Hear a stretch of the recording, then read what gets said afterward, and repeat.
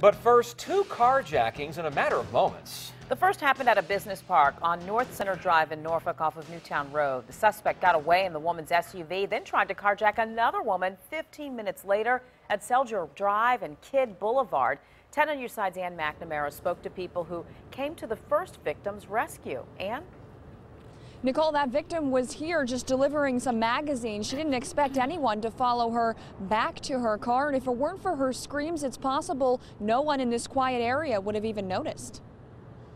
Our office is um, the first and second uh, windows. From his second floor office, Michael Williams heard the screams. He looked up in time to see a woman jumping on a red SUV. She literally got onto the top of the vehicle, on the side of the vehicle to stop it.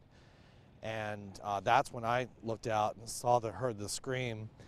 And he drove off this way, and she fell forward straight onto the, uh, uh, down onto the concrete. Williams called 911 while others ran to help. I ran down to the bottom of the staircase in the building and she was coming in the door. I helped her. She had blood all over and I was helping her up the stairs. This cell phone video shows the chaos as they tried to clean the deep cut on her forehead. Is the ambulance coming?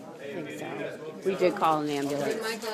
We did. Tried to understand her story. The gentleman followed her from our, our elevator to her vehicle. She got in her car. And he said, Get out of your car. And she said, I'm not getting out of my own car.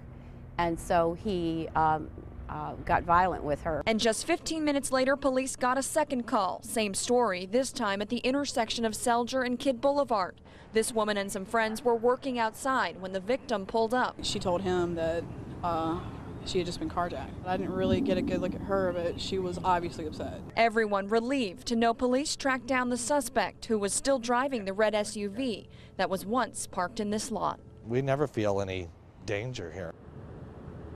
Police arrested that suspect, caught up with him just a couple minutes after that second carjacking. They've not released his name, but they say a long list of charges are pending. Live in Norfolk, I'm Anne McNamara, 10 on your side. The woman's purse and personal items were also stolen. No word if they were recovered along with the SUV.